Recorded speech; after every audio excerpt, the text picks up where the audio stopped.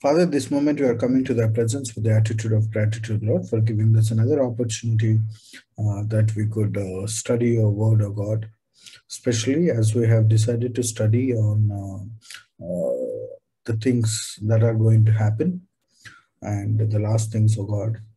Lord, I pray the study may build uh, hope in us and it may comfort us and build confidence in us, O Lord.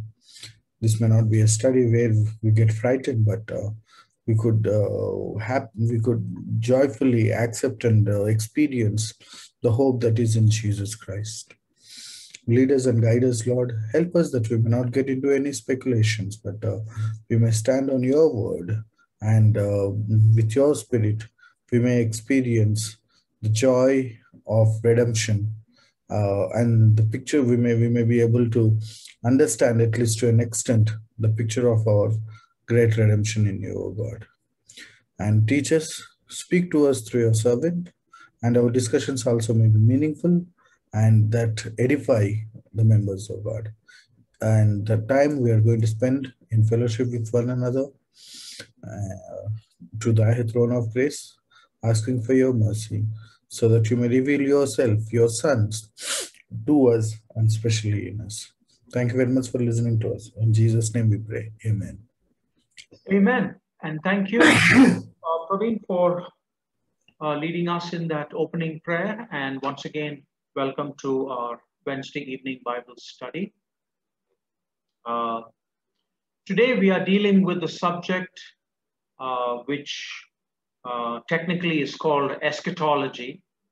Uh, and it basically means the study of last things. And as we uh, proceed, you will probably get a better picture of it as we move on. Um, we are actually reached section 16 of uh, the booklet that we have been using for the study. Uh, we believe uh, the entire series now we have gone through.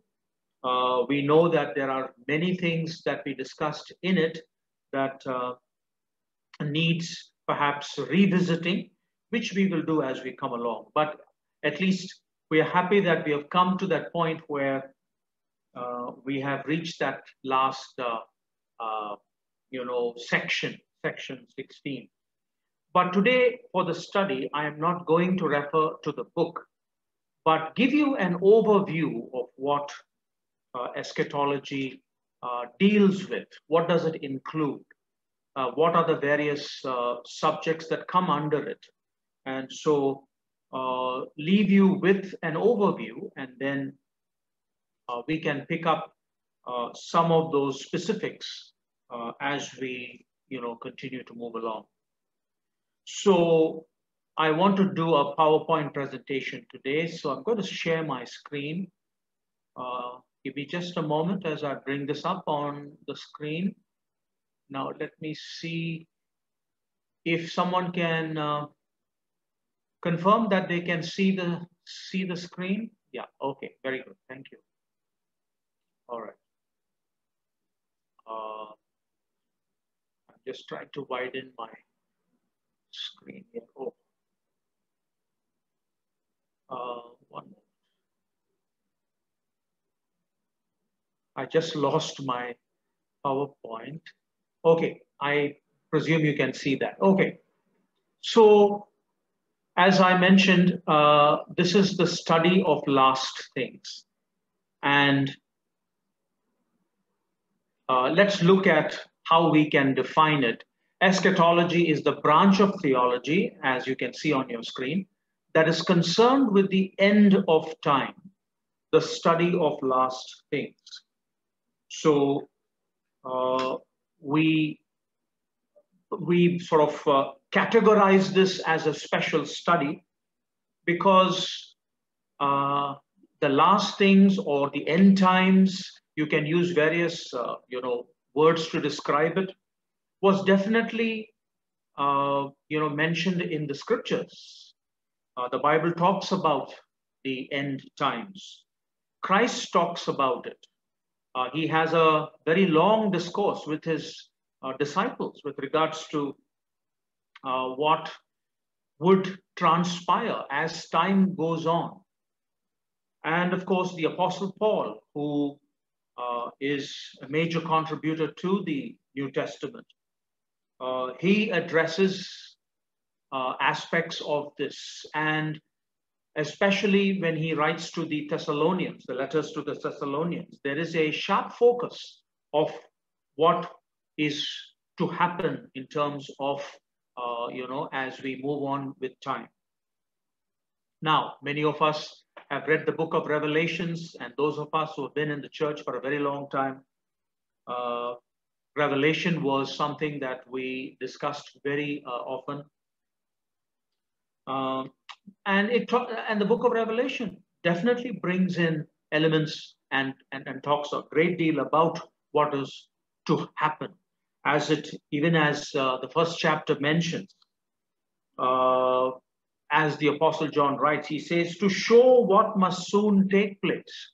This I'm reading from the first chapter, uh, verse 1. To show what must uh, soon take place. So obviously there is a tremendous interest in what is to happen. Uh, in the same chapter, verse 3, he talks about the time is near. And so even John recognized that the time was near for something dramatic to take place or something uh, new to happen.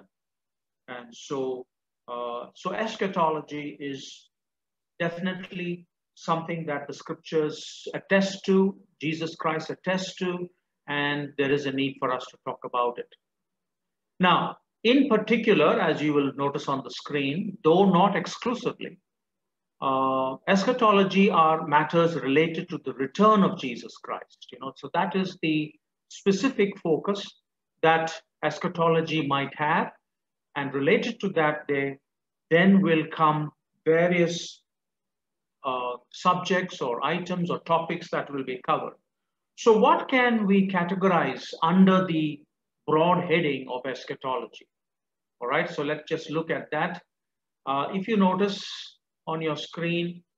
Uh, I've categorized it into blue and red. The blue you can say are is personal eschatology. What happens at death?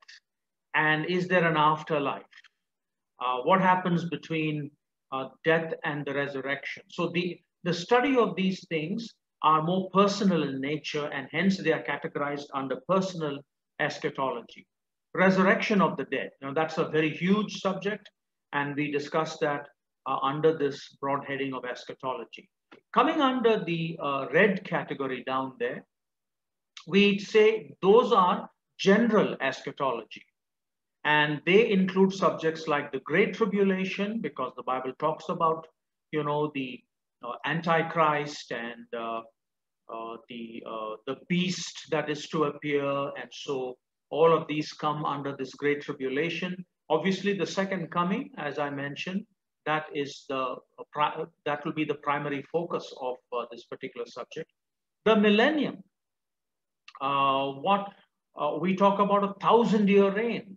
Uh, what does that uh, mean? Uh, what kind of a character will that have? So the millennium is also under this subject. The new heavens and the new earth. Revelation talks about that. Uh, it you can you can say the new creation.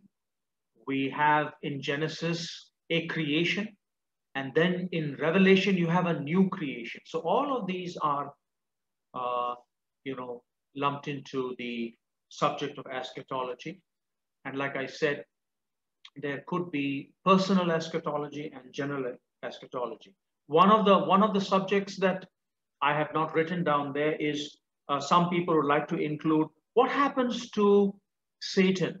What happens to demons? Uh, because the reality of Satan and demons are very much, you know, uh, part of biblical discourse. Uh, what will, what is their final fate? And under that, you can talk about the judgment. You know, we talk about the judgment uh, and uh, that sounds scary and that sounds, sounds a little you know, intimidating, but what is the judgment? Uh, so all of this can also be uh, brought into uh, the purview of this subject, all right? Let me move then to uh, what I would call challenges as we study this subject. It poses some challenges to us. And I'd like to share three of those challenges. Uh, I hope you can see the your your screen. I know the, the lettering is a little too small. I hope though you can see it. Under the under the first challenge, uh, when we study this subject, is this lack of details or specificity, uh, you know, that fact that the fact that we don't have too many in too much of information on this or detailed information on this. And what happens at that time is then it tempts us to speculate, right? So uh, uh, one of the challenges to study this subject is the fact that the Bible does not spell out everything in fine detail. It gives you large movements. It gives you, you know, uh, rather uh, very broad perspectives, but it does not get into the details or specific aspects of, you know, uh, the subjects that we might study. For example, uh, when you talk about the resurrection, we always say that our resurrection will be such that we will possess spiritual bodies. All right. Uh, now, does the Bible tell us exactly what that means? Uh, what is the composition of a spiritual body? We know what a physical body is because we live in it. But uh, we don't really fully know exactly what a spiritual body would compose of and what we are what we can do we are given broad you know uh, perspectives of it but we can't get into any details and so subjects like these can lead some to start adding the details which the Bible does not give and then lead to heresy. And that is where I think we get into trouble. And so that may be something that we need to keep in mind that uh, the lack of details uh, is deliberate. Obviously, God could have given us details, but I don't know why. Uh, the Bible does not have those details.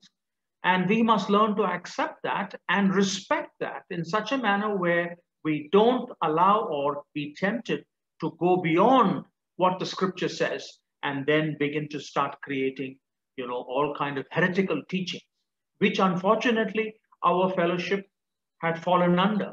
And uh, we have thankfully corrected that. And we don't want to get into uh, speculation to such an extent where we start sensationalizing everything, right?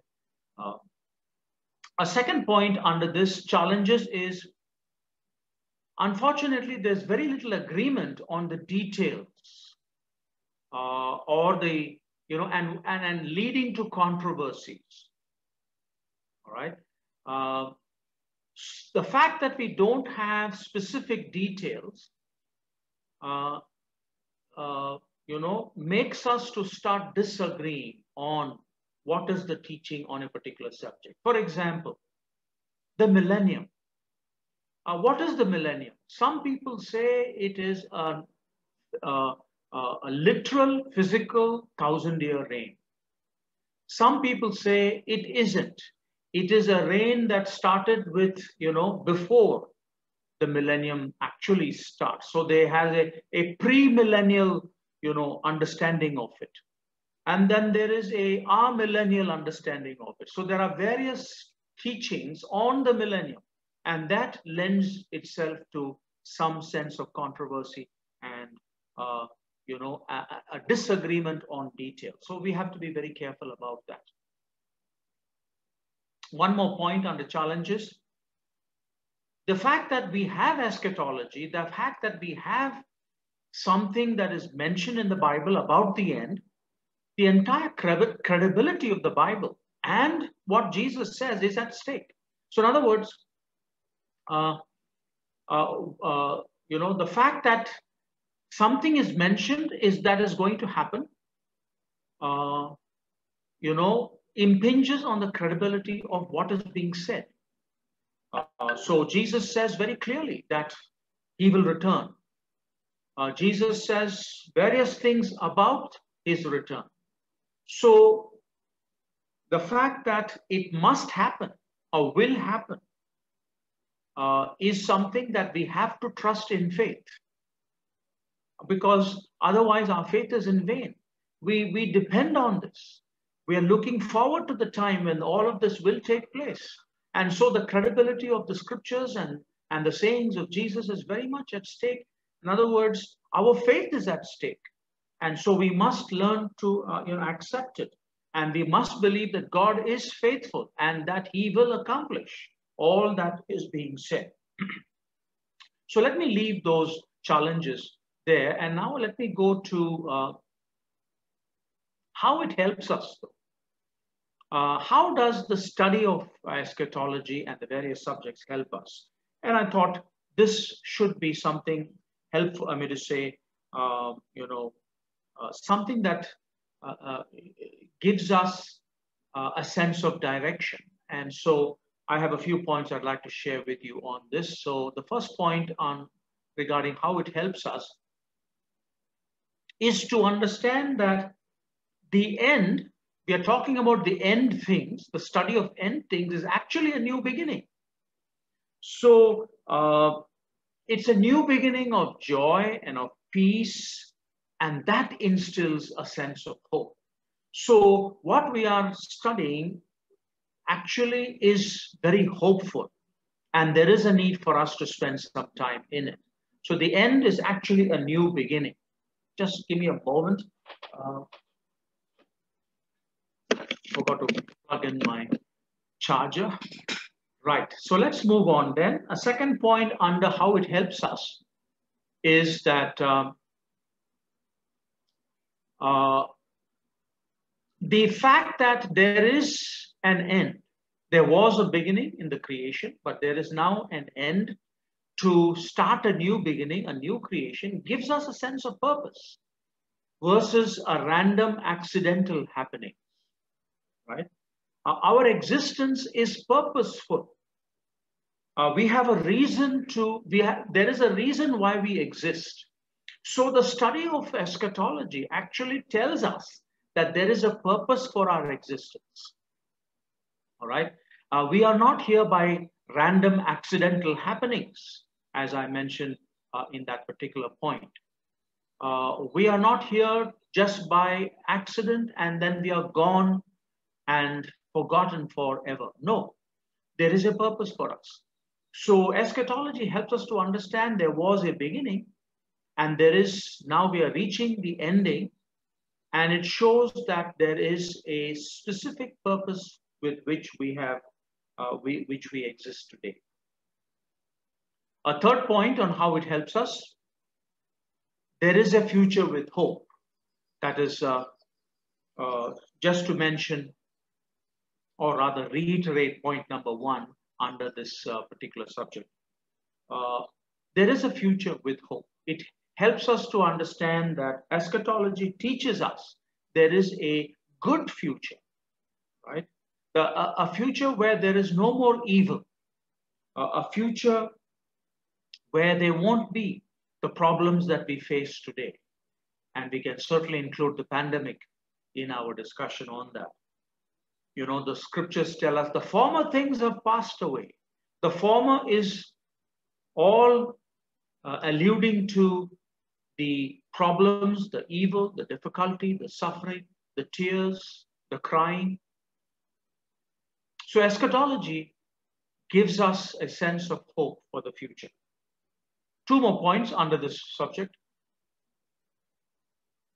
It also helps us to recognize that God, who is, you know, our creator, knows the end from the beginning, which basically helps us recognize God is in charge. He is sovereign, right?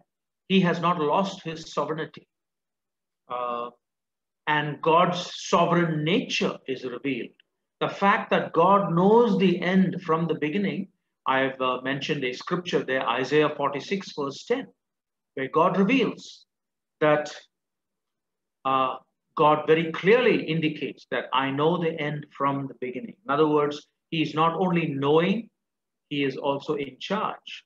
Uh, he He cannot be, you know, He cannot any nobody can take away the sovereignty from Him, right? As far as what will be accomplished in the end.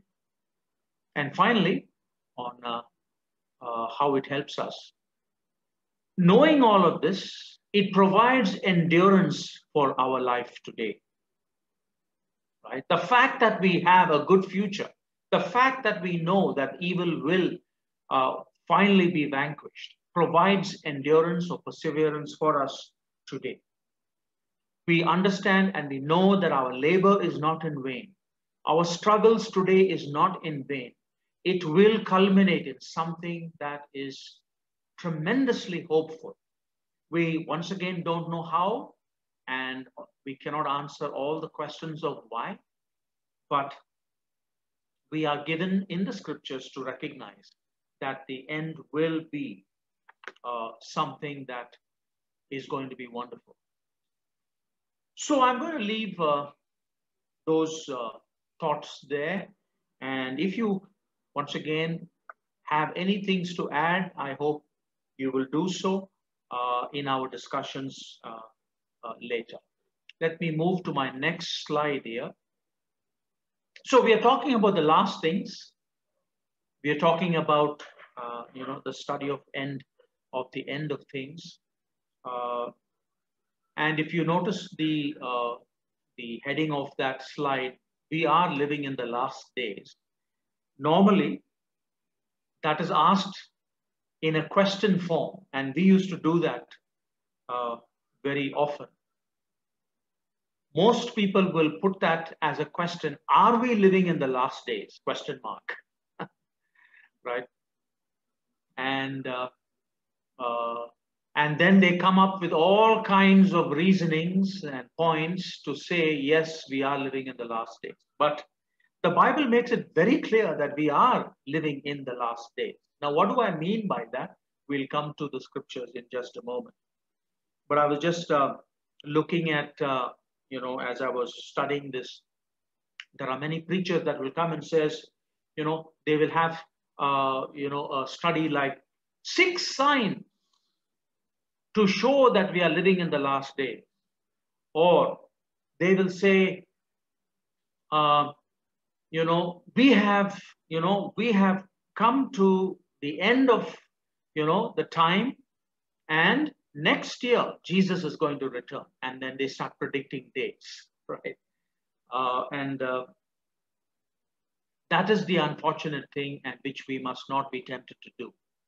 So why do I say we are living in the last days? Let's look at these two scriptures. The first one is from 2 Timothy chapter 3 uh, um, verses 1 to 5. Let me just read that for you.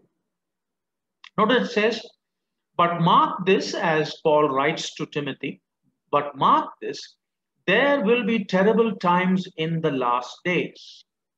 And then he continues in verse 2 people will be lovers of themselves, lovers of money, boastful, proud, abusive, disobedient to their parents, ungrateful, unholy, without love, unforgiving, slanderous, without self control, brutal, not lovers of the good, treacherous, rash, conceited, lovers of pleasure rather than lovers of God, having a form of godliness but denying its power.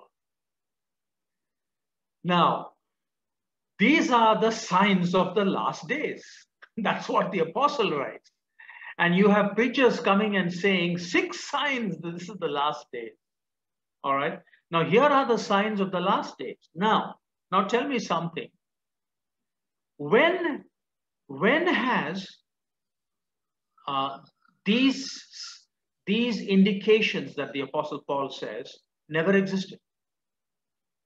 You know, right from the times of Jesus, people have been lovers of themselves, lovers of money, boastful and proud and abusive and disobedient. When have they not? So, what I'm trying to say is um, the last days has already, we are already in it for a, for a, for a, a fairly long time. And when was the last days actually, uh, according to the scripture announced? Now we'll go to Hebrews chapter 1, verses 1 and 2. Notice what it says. In the past, God spoke to our ancestors through the prophets at many times and in various ways. But in these last days, okay, in these last days, he has spoken to us by his son. Notice the author of Hebrews says, these last days. He is including the days in which the author is writing this as the last days. And when has the last days begun? He that from the time that Jesus started I mean to say, God started speaking through his son, Jesus Christ our Lord. So, technically speaking, the last days has now lasted for 2000 years. um, so, uh, we are living in the last days. Ever since Jesus came and announced that the kingdom of God is at hand, he basically announced now the last days has begun. So we have to be careful that we don't uh, get sidetracked or fooled to think that the last days has just begun or the last days will just begin in, you know, in the next few years. No, we have been living in the last days because where as soon as Jesus came and announced uh, the kingdom would be here, uh, he basically ushered you know, the kingdom, of course, uh, not in its fullness, but at his second coming, the, the kingdom will be here in its fullness. So we are living in the last days. Just to um, cap that with a quotation that I have from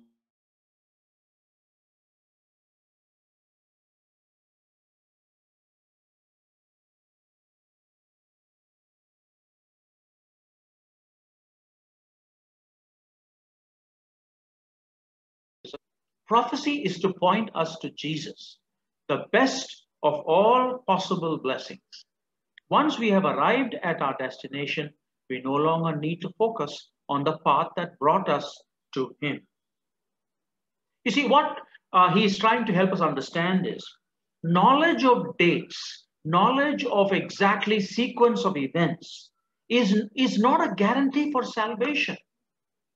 That is not what is something that we are supposed to be, you know, uh, painstakingly do, which unfortunately we did in the past, right?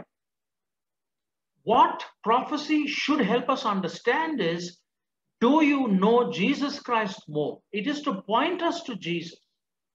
And if we know Jesus, the purpose of prophecy in one sense has been fulfilled. Now, uh, should we not know when the European Union or the, uh, you know, the beast will come and who's the Antichrist and, and all these speculative things? Well, that's not going to help me, you know, uh, receive salvation. My salvation is in Christ. And the more I know Christ, the more I am, you know, ready for the, what, you know, the end time. and the end time can happen any moment, right? Just today, I was reading that a young actor here in Hyderabad passed away because of a massive cardiac arrest. For him, the end had come. And at that moment, knowing who the Antichrist is or who the beast is has no help. No, it doesn't help. But knowing Christ helps.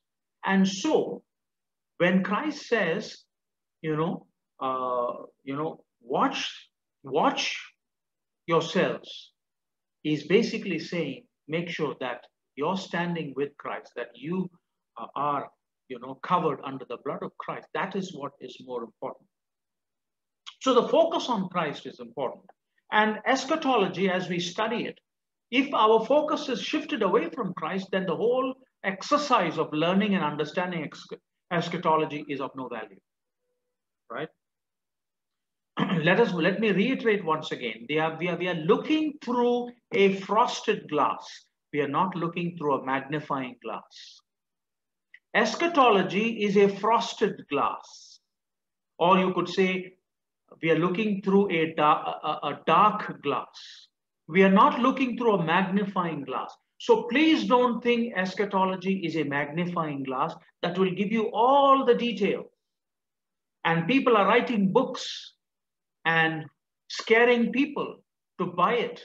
And they are making millions and buying, uh, you know, uh, living off uh, the, uh, you know, all the money that they're making out of it. That's, uh, that is unfortunately uh, not the way the Bible would have expected for us to do, to, to do this study on eschatology. Okay, I'm going to wrap up now and let me just show you uh, a picture. I don't know if you remember the person in the picture. you may have not seen him in a while, but uh, that is my son, Ashley and he is and he's holding my grandson in his arms.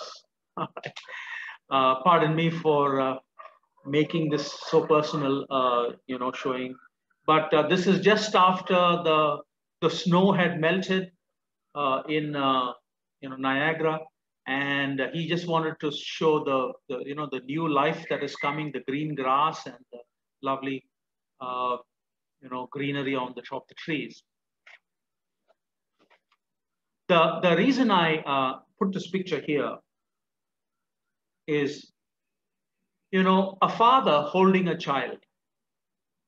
And you can imagine uh, how secure a child feels in, a in his father's arms, or for that matter, a mother's arms. You know, when a father embraces his child, picks him up, and holds him to his chest, the tremendous amount of security one feels when that takes place. This little baby of ours, my grandson, is not aware of any details. Where his next meal is going to come from, who is going to cook, whether we have to go to the supermarket, whether there is the, a pandemic raging.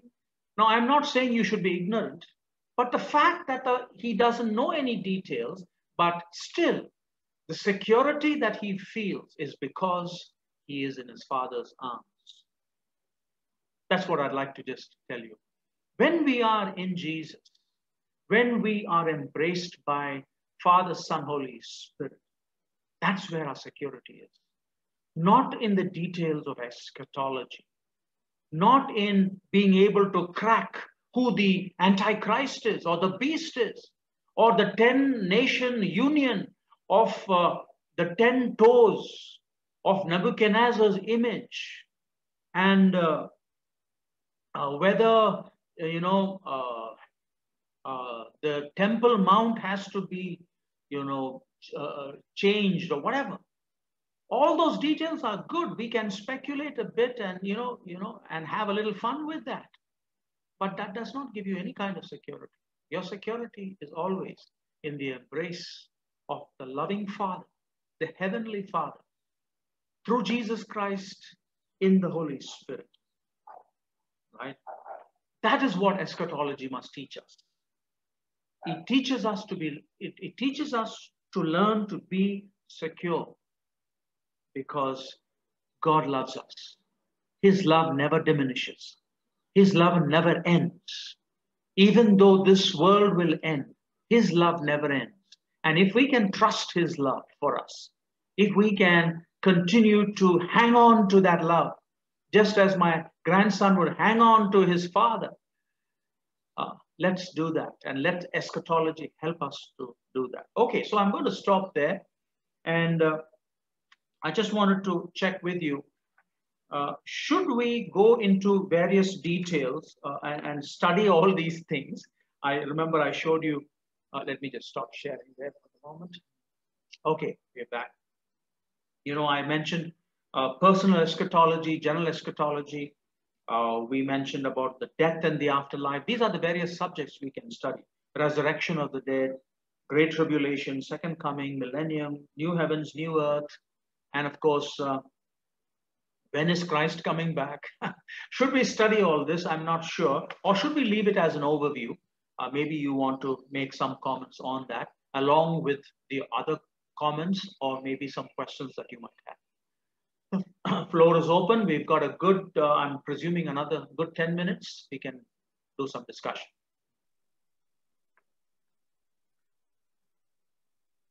Yes, Suryamurthy, go ahead. Uh, I think we should go into the details scripturally. okay. Okay. Uh, details uh, will be uh, uh, once again uh, very sketchy, speculative, because we don't want to go away from the scripture. Anil, you had a thought on that? Yes. where while you are right that we shouldn't be sort of beating these uh, prophecies and so on to death and trying to fix dates and names and stuff like that.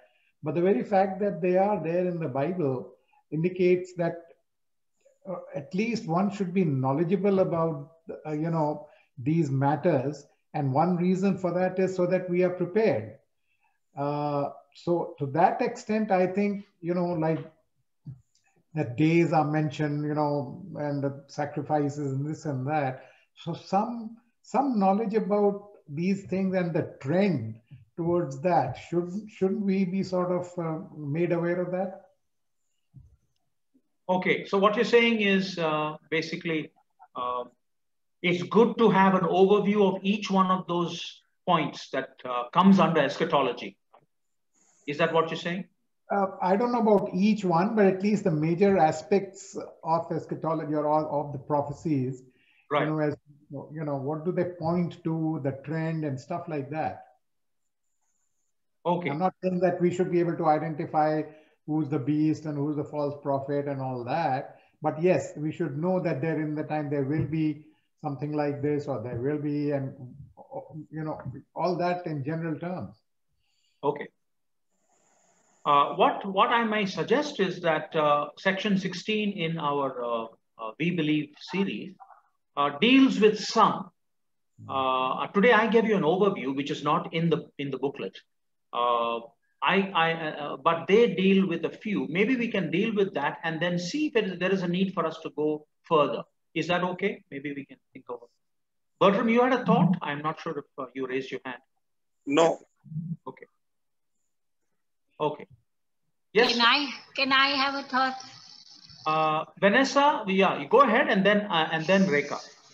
Okay, so what I wanted to say that in the Bible, there, uh, it what was written so many centuries ago about the revelations. Now God Himself knew that times are going to change. Man's uh, human's mind is going to develop, and things are going to change. We're not going to think in the prospects that we that they were thinking those days so the revolutions that were revealed at that time, can't it be changed? And God could have, I mean, sent somebody, sent another Messiah. There are so many years and centuries that have passed. Okay, another new Messiah or another new word or new revelations because of the changing of times. Okay. Wow, that's a, that's a huge uh, question. uh, let me just quickly say, there can never be another Messiah. Uh, there is only one Messiah, and he has already come.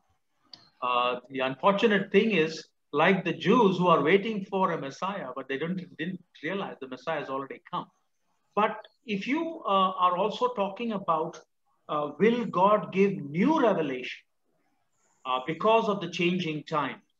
uh, will he give us some revelation that is not in the scriptures?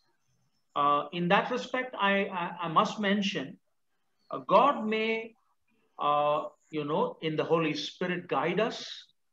The Holy Spirit can lead us uh, in how to carry out the work that we are doing today in preaching the gospel or uh, live our lives in circumstances there could be guidance, but new revelation that contradicts scripture will never happen, right? God does not contradict himself. And so if anyone calls himself a prophet and he comes and preaches something which is contrary to the scripture, uh, we sorry that that will become heretical and that will become a and he will become a false prophet. Let me give you an example. If anyone comes and says that Jesus Christ is going to return on uh, July the 1st, 2022, immediately we can brand him as a false prophet because Jesus himself said, no man knows the day or the hour, you know, of the second coming. So uh, does that help, uh? Yes, yes. But then, uh, but then, see, Jesus, he sent his only son, Jesus, in flesh, to save us. Okay, when he saw that, uh, okay, we were not saved with his son coming in flesh. Now the only person left is the helper, the Holy Spirit. So can't he send the Holy Spirit also in flesh? Because the Holy Spirit is only, I mean, mentally, mentally with us, guiding us. So if he sends him to redeem the world more, there is the last you have to you have to find solutions so he, god can send even the holy spirit in the end Okay. Well, uh, uh, you, this is some good radical thinking. I, I, I can just mention that, you know, uh, we should never ever think that Jesus Christ didn't finish the job. Uh, his coming in the flesh has accomplished the job, and we don't need somebody else in the flesh. And of course, the scriptures tell us that only the second person of the Trinity has come in the flesh uh, in that respect. Uh, so, um, uh, see, redemption is already done. It's a question of how we are going to experience the fullness of it. And that requires whatever time God has allowed. Okay. Uh, let me just bring in Bertram. And uh, Bertie, you had a thought on that? Yeah, the scriptures also mention the Holy Spirit is coming in the flesh. Uh, from the time of Jesus Christ, uh, the Bible clearly reveals that if we uh, if we don't confess, if uh, if uh, if uh, if we if a spirit uh, uh, does not confess that Jesus Christ has come in the flesh, uh, it's we can we can identify it as a false spirit. Uh, and uh, the Bible clearly says that the Holy Spirit is coming in the flesh. In fact, uh, from the uh, we just celebrated the feast of Pentecost, where collectively uh, the it was the the the body the spiritual body of Christ was started, and it has been going on. So about Vanessa's question of whether uh, the, Lord after Christ coming and uh, accomplishing a great you know the redemption for us and and uh, you know the hope that we have she, he promised the Holy Spirit would come and empower, enable us, inspire us in holy and righteous living in fellowship, and also in accomplishing God's work. It has been coming. It began from the time of the Pentecost, and so I can't. I uh, maybe you need to ask Vanessa what what does she mean by Christ should uh, God should send the Holy Spirit and transform people radically. Uh, I mean, maybe you may want to throw some light on it. Yeah, Bertie, if I can just do uh, make one comment of uh, with what you said. Uh, when you say the Holy Spirit is coming in the flesh, uh, once again, that can give you a wrong picture. Uh, the Holy Spirit comes into us who are fleshly and resides with us and empowers us. Yeah, but that's it is, right. Holy Spirit is not coming in the flesh, right? It comes into No, no, us no, no. who are flesh. Into us. Yes, yes. Okay, I just wanted to make that. Any other thoughts with No, uh, but what uh, I asked? Uh, Rekha, but uh, could you clarify? Go ahead. No, just a thought. I thought a, a day of the Lord is a thousand years for us. So when when something really is happening, it could mean a couple of thousand years for us. It really is not now. We shouldn't be so precise in everything. He's given us certain characteristics, and that is all. Okay.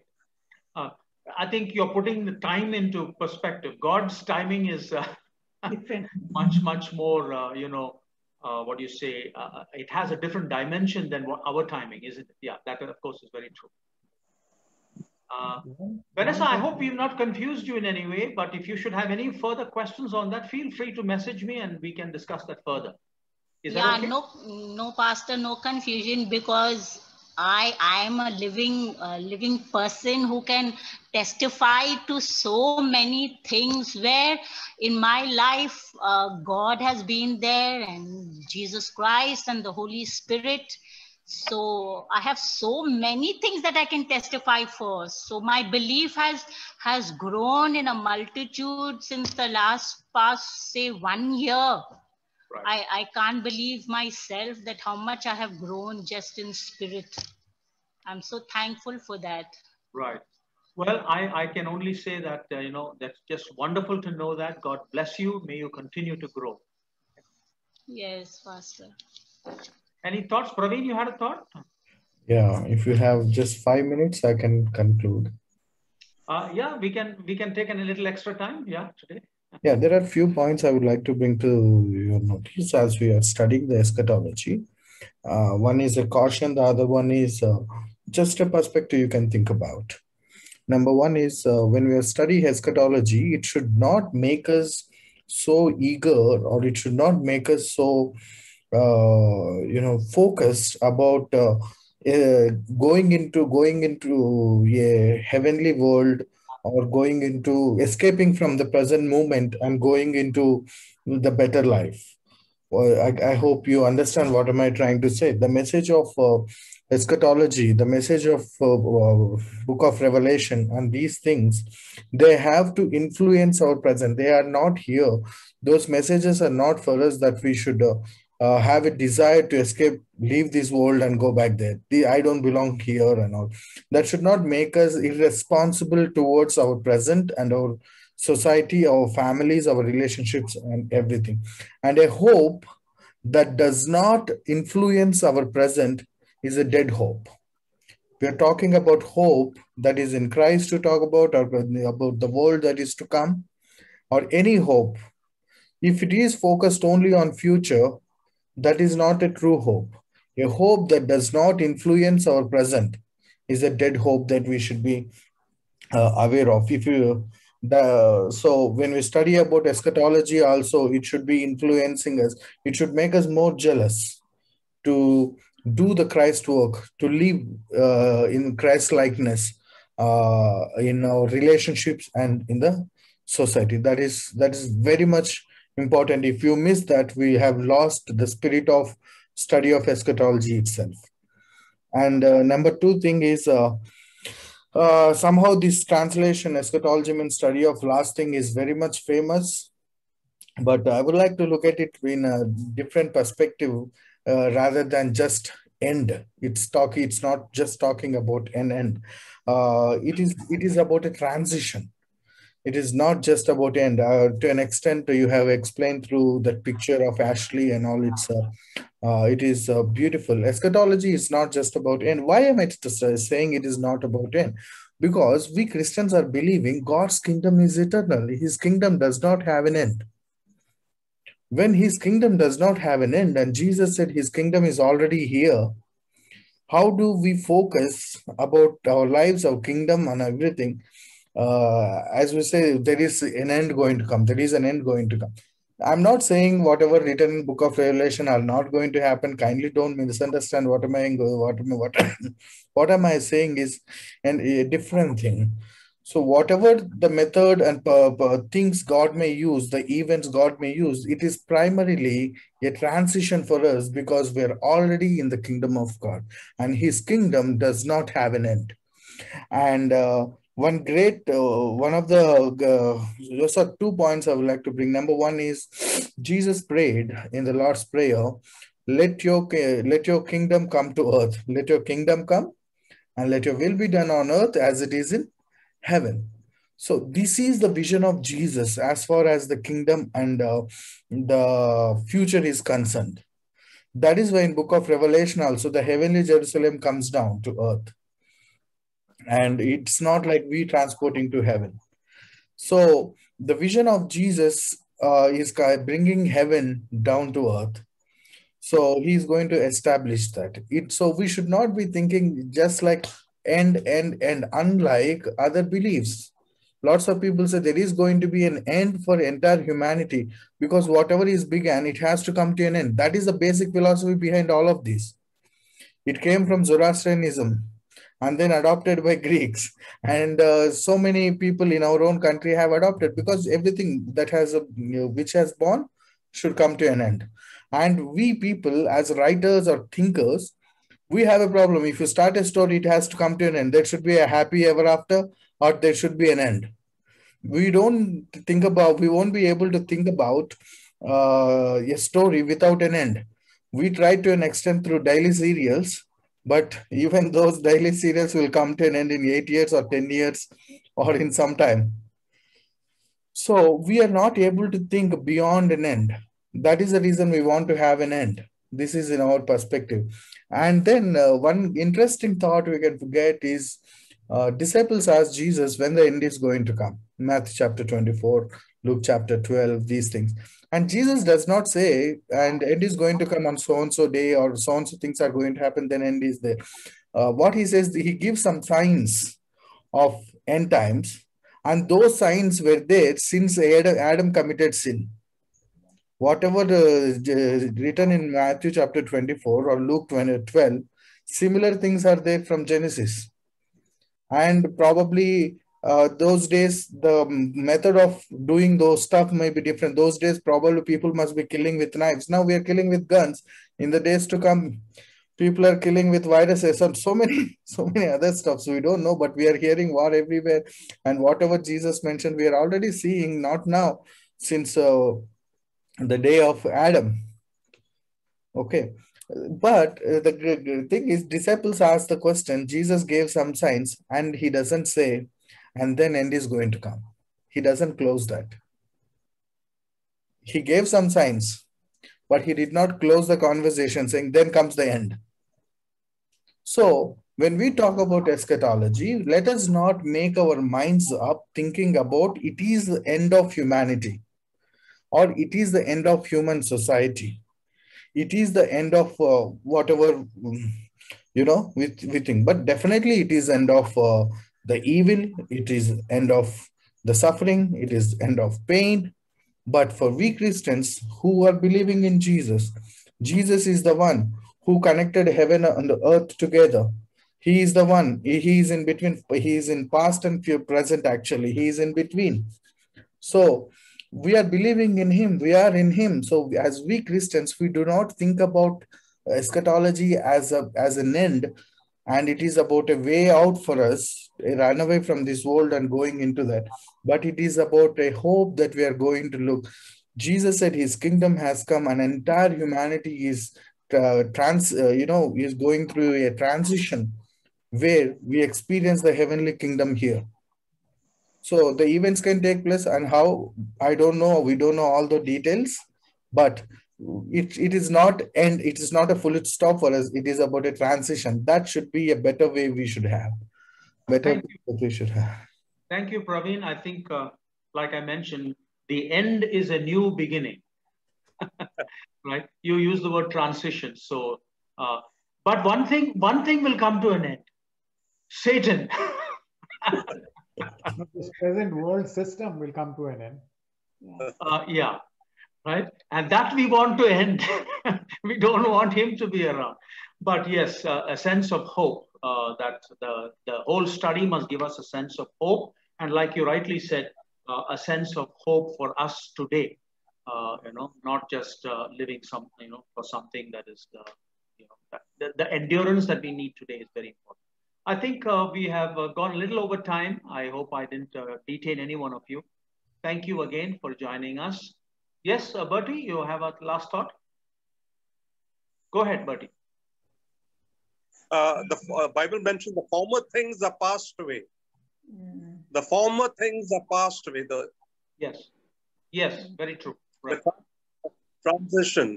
The end is the beginning of something. Yeah. Okay. All right. Thank you again for joining us. And if I can request our trustees to stay back after the meeting. And uh, I would also like to request Suryamurthy, would you like to end and thank God for our time together? Uh, can Suryamurthy hear us? Suryamurthy? Yeah.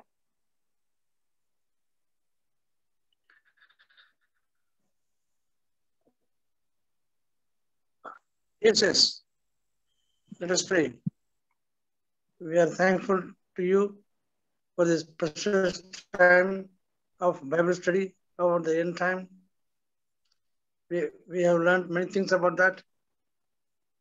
What we have understood is that we have to be thankful to Jesus Christ's sacrifice that he will bring all our lives to at the end of resurrection. We hope and trust this study has helped us. We thank you in the name of Jesus Christ. Amen.